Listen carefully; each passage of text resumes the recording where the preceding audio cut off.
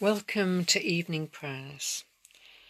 Psalm 53, Jim Cotter by Stony Paths has entitled Flesh of Our Flesh.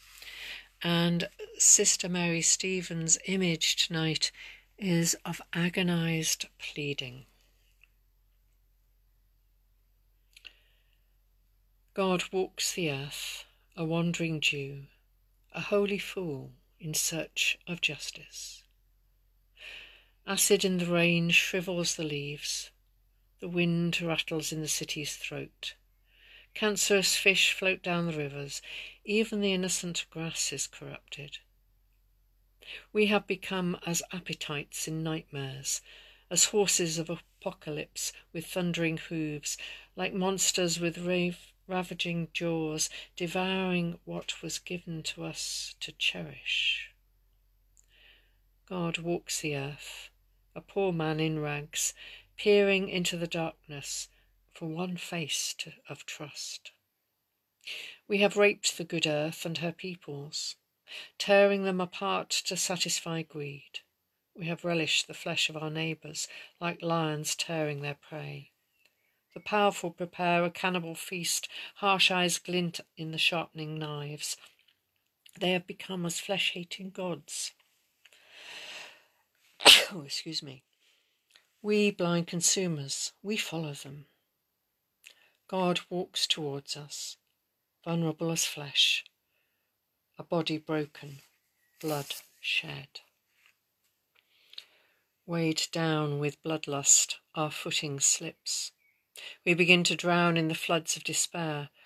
Oh God, grasp the hand stretched out in panic before we vanish forever and are no more seen.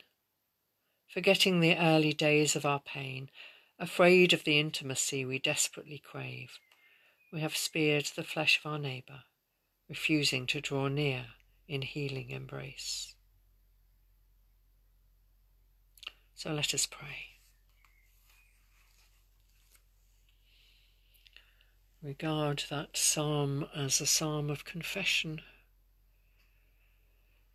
and perhaps one of the outcomes of this awful situation with COVID 19 is we are becoming more aware how interrelated we are, how interdependent, and how we need to mend our ways.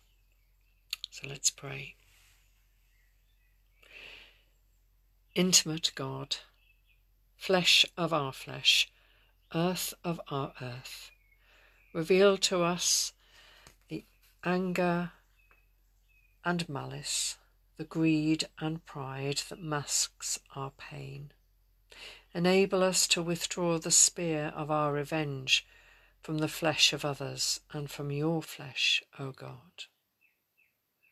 Enclose our hurt in your side that we have wounded and draw us closer to one another in compassion and forgiveness, dependent utterly on your mercy and acceptance. We worship a God who is a pain bearer and who longs for us to turn again with that repentance. So, with that in mind, may God grant us a quiet night so that we may walk with him in the morning. Amen.